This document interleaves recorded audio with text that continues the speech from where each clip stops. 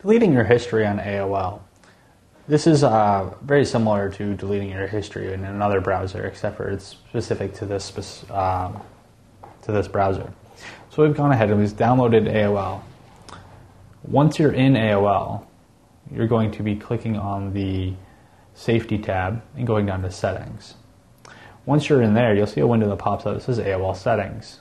Inside of here, we're going to click Internet Properties and you can see Clear My Footprints tab up top is selected. So what we're going to do is we're going to either select your footprints, footprints to clear, and you can choose to clear browsing history, clear cookies, browser cache, or blocked pop-up list.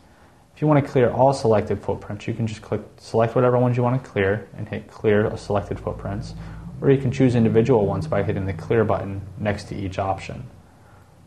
So we're going to tell it to delete all the ones we've selected. Once it's done with that, it'll close. Or you can just click clear my footprints and it will go through and delete all of them.